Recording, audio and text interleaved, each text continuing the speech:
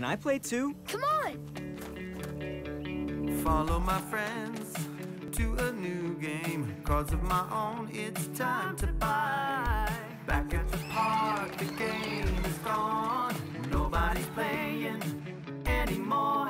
The big craze for me was the cuddly kitty. It was a huge hit, then everybody quit. I had a good dog, fed my fake pet a lot. Missed all of his tricks, just for digital so